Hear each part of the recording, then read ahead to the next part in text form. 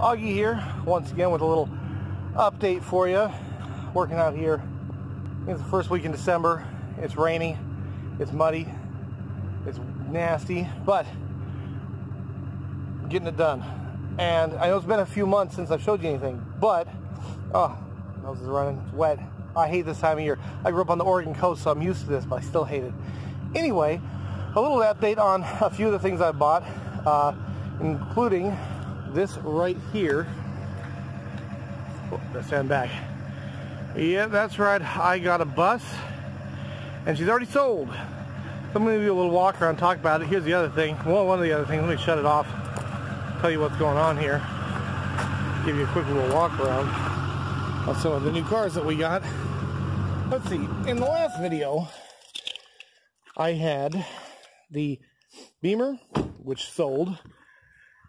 Uh, I don't remember how much I made on, but I made good profit on. I had the Buick Enclave, which took a while, but it sold, and I had, uh, oh, that Ford F-150, it also sold. Um, but before I get into these regular cars, let's talk about this for a second. So, as you know, if you follow the channel at all, I own a food truck, and I'm kind of in a small town, the local, you know, they hang out for a lot of old guys, a lot of car guys, and we all kind of sit and chit-chat. A lot of them know what I do with cars. Had a customer come in the other day who knows what I do he said, hey, I've got a neighbor who's getting ready to go through a divorce. He has a bunch of Volkswagens, and he wants to know if you'd be interested. I told him you were the guy that buys cars around here. I thought he meant Beetles, and I said, not really. He said, well, he does have a bus, and I jumped on it because buses are worth money, and this is actually a very good one. So I did a lot of running around back and forth with the guy on the phone. Finally went and saw it, paid uh, right up front, paid two grand for it. It's not running it needs a starter. And it's been sitting for a couple years, so a few other things here and there. Um, anyway, I mean, it's a remarkable condition for one of these old bay window buses. This is a 71, which is the most desirable year for the bay window. Uh, last year for the 1600cc upright and the first year for disc brakes. Anyway, um, you know, it's got a cheap Maaco paint job. It's raining, so I can't really show you where's some spots, but there's drips, spots you probably can't see it through the rain. Uh, you can't see it. Where clearly they didn't sand it or anything. They just painted over some uh, some bad paint. Um, but hey, it looks pretty good. It's got, you know, all the hubcaps. Interior's not great, but not bad. That seat's ripped up, but all the other ones are not. Just dirty. Some rust. This is the only actual serious cancer in the bus, is right there. But other than that, she's not all cancered out. Um, it does crank, but it cranks really slowly, like the battery's dead. I changed out the ground wires and everything, and I bought a starter and didn't get a chance to put it in before I ended up selling it. I'll get more to that in a minute. Um, uh, some interior panels. They're all water damaged. They usually are from what I've seen, they're just made of cardboard. But, I mean, all in all, she's a very good bus. There's Bondo work down here. And there's some in a few little spots around the bottom, but nothing serious. Frame's good, not all rotted out. Interior, not terrible. Again, it's missing that panel, and it's missing the panel for the slider, which are those curled up nasty things in the back. There's the starter.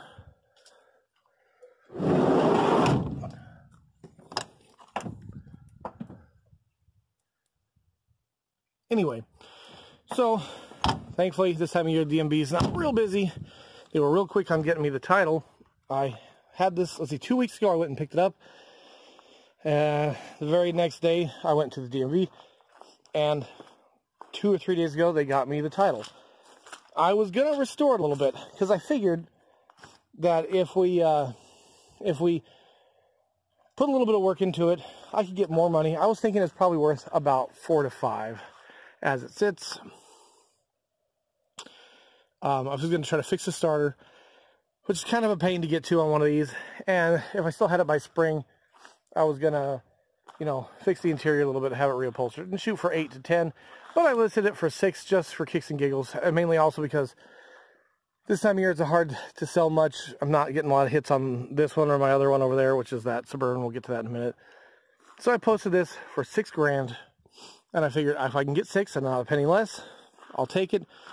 And right away, the very first people that came out this morning decided they would take it, and I figured since it's already on the trailer, I will deliver it to them anyway.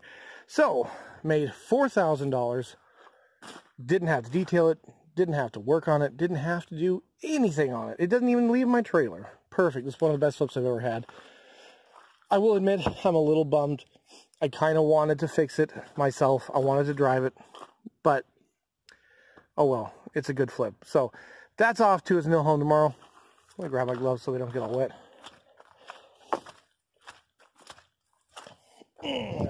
We got this 02 Duramax at the auction a couple weeks ago. really good condition other than that, of course, which according to the Carfax was an unfortunate meeting, winter meeting with some mailboxes uh, and a heck of a slide off. But it's clean title. It's a really clean truck. Duramax, 200,000 miles. Uh, haven't detailed the inside yet. And believe it or not, I did detail, detail the outside, but uh, dirt road life, right? Anyway, I paid a lot for this, but I wanted something four-wheel drive. Um, I think we're all in this thing for seven. I think it's worth about nine, but I'd take eight for it. It's a pretty good truck. Getting ready to do some detailing on the uh, interior. The Suburban, I've had for like a month and a half. It took them forever to get me the title on this one, but they finally did. I'm trying to avoid some big puddles down here. They finally got me the title on this thing. Take a look at it. Uh, I bought this at an auction a couple weeks ago. 220 something thousand miles. But I only paid three grand for it. So, um, and at the same time we bought this, I also bought a big Cummins powered 97 step van, which went right away.